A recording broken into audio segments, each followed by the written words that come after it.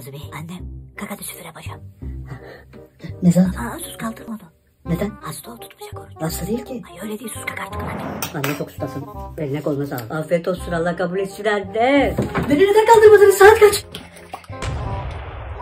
Ya neden kaldırmıyorsun beni? Ne hastamışsın? Ne hastası değilim. Ya annem öyle dedi. Ama kardeşin hasta karıştırdım ben. Yaşlılık antep hakkı değil hale. Tutma be ben o zaman. Ne zaman tutmadım da bu Ramazan tutmayacağım be. Ese yapacak bir şey yok. Yedirttin Allah rızası için. Kaç dakika var? Telefonda otomatik okuyor ezan. Hah, hadi Allah kabul etsin. Hay Allah bu sene de gördük Ramazan'ı Allah'ım abdü senaları. Bu Aman anne şırnancını ayarlamışım bir iftara ben. Hakkı değil hale.